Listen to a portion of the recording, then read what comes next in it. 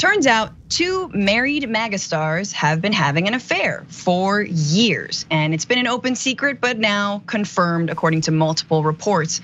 Now, who cares? Why would we do this story? However, when it comes to anyone else, especially the left, Democrats, progressives, anyone who isn't themselves wanting to live their own lives, love who they want to love, dress how they want to dress, identify how they want to identify. Man, does MAGA and the right have a lot of things to moralize on.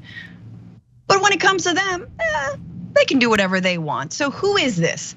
Well, it's married South Dakota Governor Kristi Noem, 51 years old, who stresses her belief in family values, and Trump advisor Corey Lewandowski, who is yeah, also married, and they began carrying on in 2019, if not before. And again, this is according to the Daily Mail and the New York Post. There they are together. This is one of, it turns out, many dozens of photos they have together we don't, we didn't collect them all for you. You can go look at them if you want. Um, Again, I just want to say this is a Daily Mail and the New York Post. Obviously a little trashy. That's why they're covering an affair like this. But I just, you know, full disclosure. The Daily Mail investigation has uncovered extensive evidence of the couple's romantic relationship. Dozens of trips that mix business with pleasure, flights on donors' private planes, stays at luxury resorts where their intimacy was observed and noted. This is according to a staffer of Noem's. We often had no idea where she was or or if she was even in state or out of state. She would simply disappear. Um, and then in 2019, this is sort of when it seems to have begun. Um, Corey Lewandowski was a key advisor to Noem, and the pair went on a deep sea fishing trip hosted by the late conservative billionaire and GOP mega donor Foster Friess, who, along with his wife Lynn, ranked among Noem's top political and financial supporters. Um, and then again on the 2020 uh, Trump campaign trail, it seems like their relationship was just out in the open. Everyone knew about it.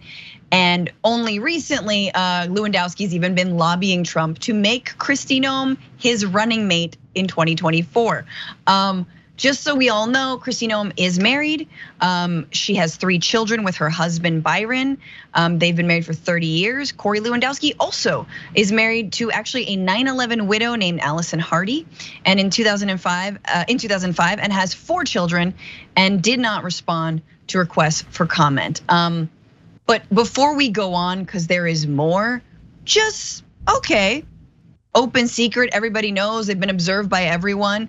And um, again, shoe on the other foot if like, you know, if I don't know, pick anybody, right? Like if anyone from the Biden team, I mean, God, we're talking about like Hunter Biden's every single detail of his life, every single mistake he's ever made, we're obsessed with, right?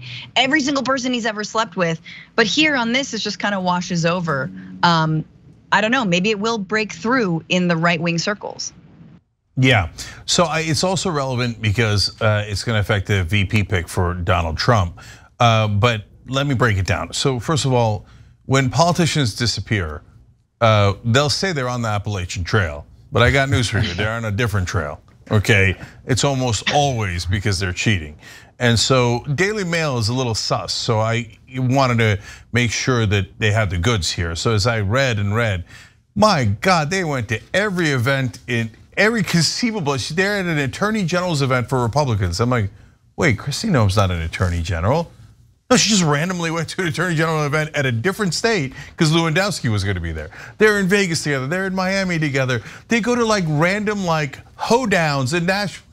It's not in Nashville, but they mm. were going to the most, oh kitty cat petting events in Louisville. Like it was ridiculous. No matter, like like dozens of events. And everybody's like, where the hell is the governor of South Dakota, right?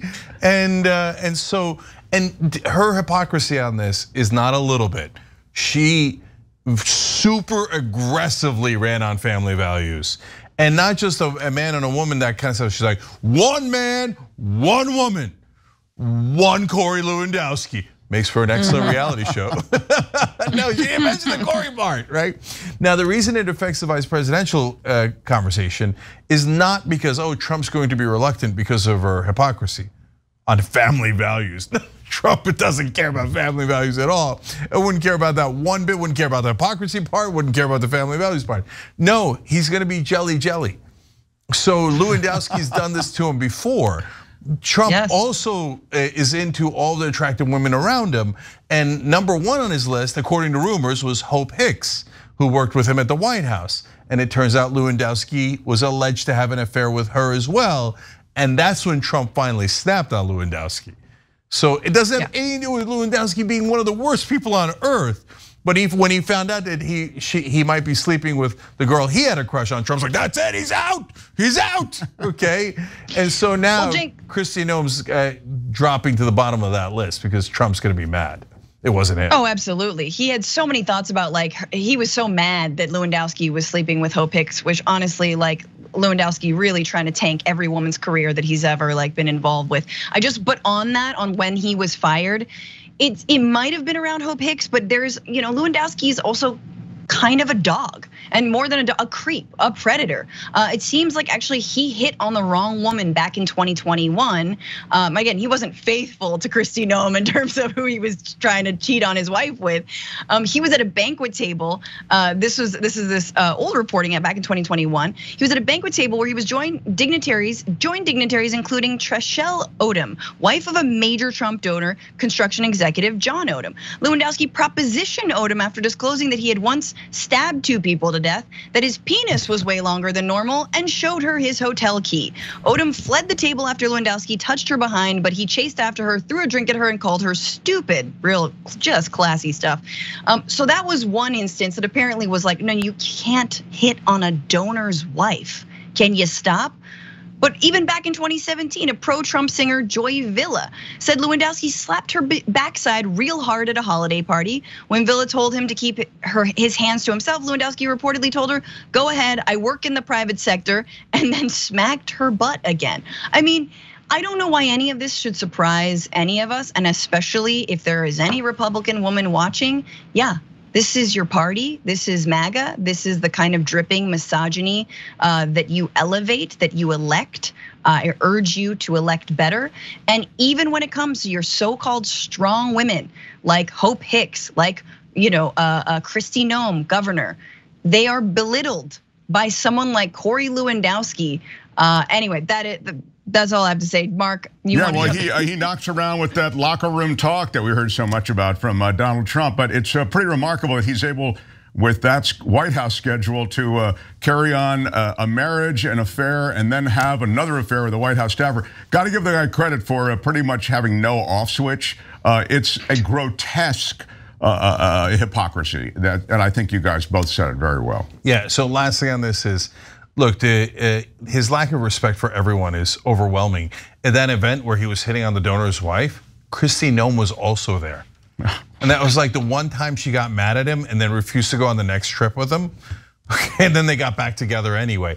And I, if I'm Kristi Noem's husband, I am livid. And apparently the reporting says he is livid. And yes, yeah. Lewandowski was fired after hitting on the donor because that might cost Trump money. He was distanced from Trump when he Trump found out about Hope Hicks. Those are two separate incidents. Everybody knows this in the Republican Party. All the sources are Republicans.